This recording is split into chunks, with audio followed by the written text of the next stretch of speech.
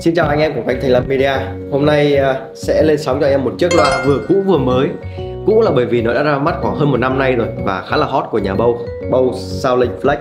Nhưng mà cái mới của nó ấy, chính là cái loa bên tay trái của mình đây Bâu Soundlink Flex V2 có nghĩa là phiên bản mới của bản là Bose Solid Flex nó không phải là một cái tên hoàn toàn khác, bởi vì hầu như nó vẫn là chiếc loa ấy thôi, nhưng mà nó sẽ có những thay đổi về tiểu tiết, một cái vơ mới năm 2024 và có những cái update cả cái phần phần mềm đấy là đến liên quan đến phần thiết kế bên ngoài, nhưng mà chỉ là những tiểu tiết nhỏ thôi. Nên hãng gọi nó là vơ 2 và ngoài về những cái tiểu tiết nhỏ như phím button hay là cái công nghệ xung quanh thì nó còn có một cái thay đổi nữa, đấy là có nhiều màu hơn để cho anh em lựa chọn. Vậy chúng ta phải làm một cái video thật là chi tiết thì chúng ta mới nhìn được cái khác biệt đấy. Và video đấy phải là nằm trên kênh youtube của Thành Lâm Media. Chúng ta sẽ bắt đầu bằng việc unbox hai chiếc loa.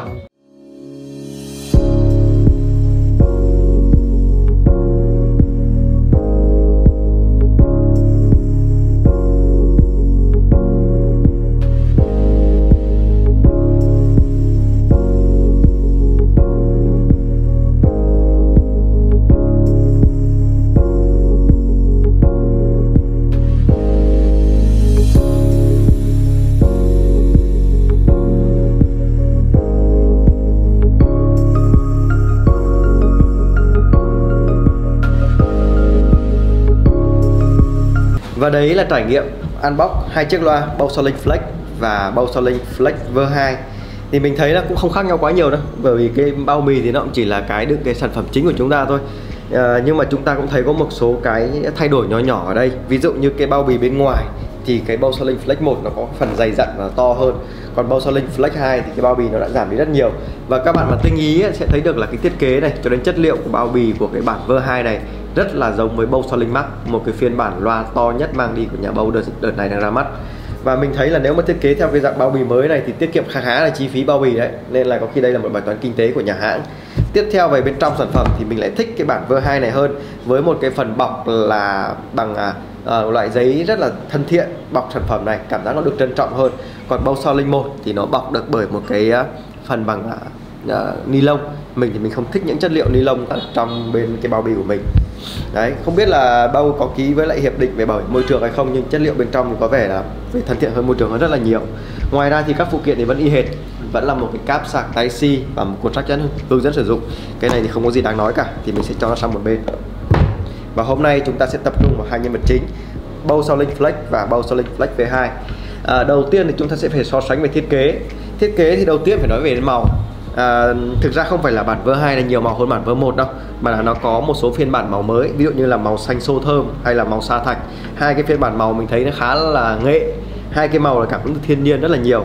Còn cái phiên bản à, uh, Bow Flex 1 này V1 ấy, thì uh, nó lại có thêm một số màu rất khá là đặc biệt ví dụ như là màu tím chẳng hạn. Nhưng mà không hiểu sao mà ở Việt Nam mọi người không ưa chuộng màu tím lắm. Nhưng mà mình nghĩ là màu xô thơm và màu sa thạch sẽ là hai cái màu mà anh em sẽ yêu thích rất là nhiều à, ngoài ra thì còn có một cái điểm khác nhau ở đấy nữa. Đấy là hai cùng là phiên bản blue nhưng mà cái bản vơ 2 này là màu xanh blue rất giống với lại Bose Soundlink Max cái màu xanh của nó đậm hơn màu xanh của nó nổi bật hơn cá tính hơn là cái màu xanh blue của bản Bose Soundlink Flex V1 đấy. Để, còn về kích thước của hai chiếc loa thì các bạn có thể nhìn thấy ở đây là y hệt nhau không có một chút gì thay đổi cả so với lại phiên bản trước đây. Đấy. Đã đo rồi không khác một chút gì về gọi là trọng lượng hay thiết kế cả. Nhưng mà có một cái chi tiết khác ở đây mà đang giá, đấy là các bạn có thể nhìn thấy ở bên trên của mặt Bose Soundlink Flex V2 thì cái phím phím Power Play này, nó lại nổi nhẹ lên. Đấy, rất là tinh tế. Tất cả các phím thì vẫn chìm so với mặt phẳng nhá. Nhưng mà khi mà chạm vào thì cái phím Power Play này nó có nổi nhẹ lên à, tạo một cái cảm giác trải nghiệm khi mà chúng ta chơi nhạc nó thuận tiện hơn rất là nhiều so với cái bản mà chìm phím chìm trước đây. Như uh, những video trước đây mình có nói về con Bose Soling Flex mình khá là thích. Đây là những cái phím của nó chìm. Không phải thích về mặt trải nghiệm đâu bởi vì khi mà mới chạm vào cái việc mà nó chìm chìm ấy cảm giác rất là khó thao tác.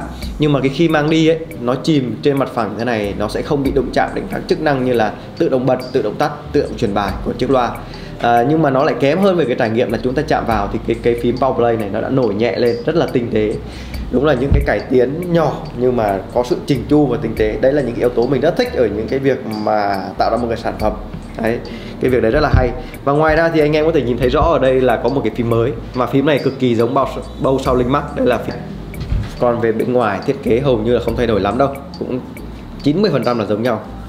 Với hai cái phần à, à, lỗ phía trước và phía sau để có thể là à, nhận biết cái vị trí đặt ví dụ như chúng ta đặt ngược thì âm thanh nó sẽ phát tối ưu từ dưới lên. Còn khi mà chúng ta đặt đứng thì âm thanh nó sẽ phát ra từ hai phía. Đấy. nó không khác gì cái bản là bow Link Flex trước đây cả.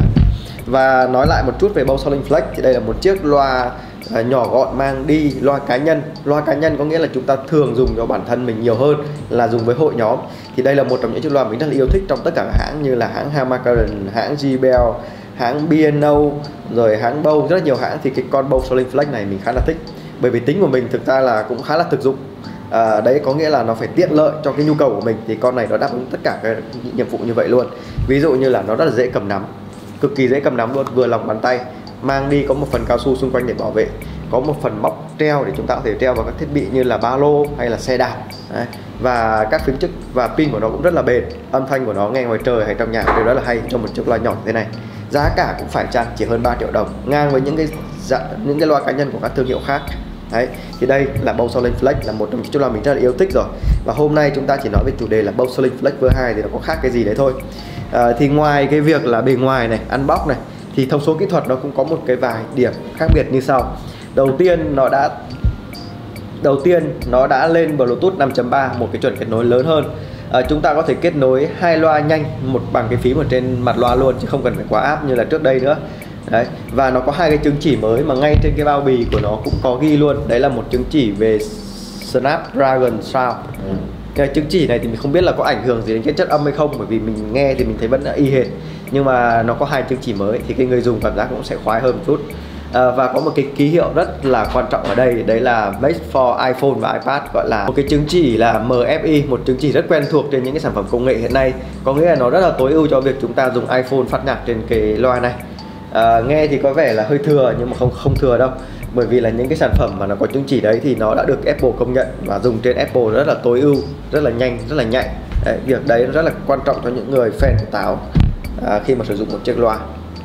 Đây là một số cái điều khác biệt trên chiếc Bose Flex V2 so với Bose Flex V1 và mình thấy tất cả những khác biệt đấy đều đáng giá. Và cái quan trọng đáng giá hơn nữa đấy là cái bản V2 này giá không hề thay đổi gì so với bản V1 cả. Đấy, cái đấy là một cái rất khoái nhất cho những người mua bản V2 từ tháng 9 tại Thầy Lâm Mida chính hãng Bow Việt Nam. À, trở về sau chúng ta có hai màu mới lựa chọn xô thơm và màu sa thạch. À, cái công nghệ kết nối cũng à, nâng lên 5.3 có thể có những cái thao tác thuận tiện hơn trên mặt loa và cái sản phẩm mới còn có nhiều chứng chỉ hơn nữa. Thật là khoái khi mà sở hữu cái con Bose Solid Flex V2 này vào thời điểm năm nay. Sản phẩm thì các bạn nhớ là mua cái bảo hành điện tử tại Việt Nam. À, đừng có mua trôi nổi trên thị trường bởi vì bản Flex này là một bản rất là nhiều hàng fake. Và khi mà các bạn kích hoạt bảo hành điện tử Việt Nam ấy thì được hỗ trợ bảo hành rất là tốt. Bởi vì mình đã gặp nhiều trường hợp các bạn có thể sách tay về luôn nhé không phải làm fake. Nhưng mà đến khi gặp vấn đề gì đấy thì hãng sẽ không bao giờ hỗ trợ các bạn ở tại thị trường Việt Nam đâu mà các bạn phải gửi sang bên kia. Mà đấy là một số so sánh nhanh giữa Bose Link Flex V2 và Bose Link Flex V1 à, có lẽ mình sẽ không sao test ra hai chiếc loa đâu và mình cam đoan với các bạn là không khác gì nhau cả nên là mình sẽ chơi một bài nhạc trên Bose Link V2 Bose Link Flex V2 cho mọi người nghe thôi nhá.